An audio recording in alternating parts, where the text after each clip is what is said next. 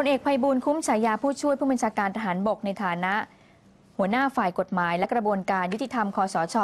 ประชุมมอบนโยบายการดำเนินงานป้องกันและแก้ไขปัญหายาเสพติดให้แก่ผู้เข้าร่วมประชุม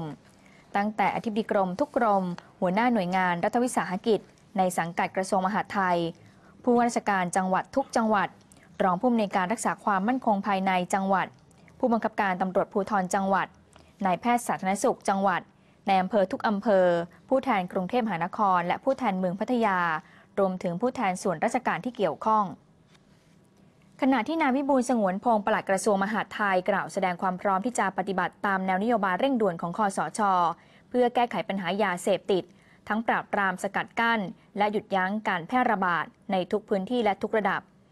รวมถึงการเดินหน้าจัดระเบียบสังคมนำผู้เสพและผู้ติดยาเสพติดเข้าสู่กระบวนการบำบัดรักษา นอกจากนั้นก็จะวางมาตรการต่อเจ้าหน้าที่ของรัฐที่เข้าไปเกี่ยวข้องกับยาเสพติดอย่างเคร่งครัด รัดกุม โดยระบุว่ากระทรวงมหาดไทยได้เน้นย้ำให้ผู้ว่าราชการจังหวัด และในอำเภอเป็นแม่งาน ในการอำนวยการระดมกำลังทุกภาคส่วน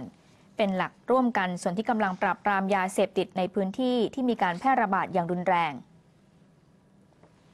ปลัดกระทรวงมหาดไทยยืนยันว่ามาตรการตรวจจับจะดำเนินควบคู่ไปกับกระบวนการสร้างความเข้มแข็งหมู่บ้านและชุมชน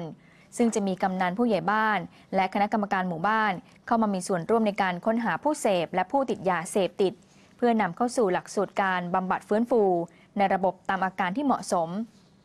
โดยหมู่บ้านหรือชุมชนที่มีการแพร่ระบาดยาเสพติดอย่างรุนแรงนั้น จะกำหนดมาตรการปราบปรามอย่างเข้มข้นภายในช่วง 3 เดือนนี้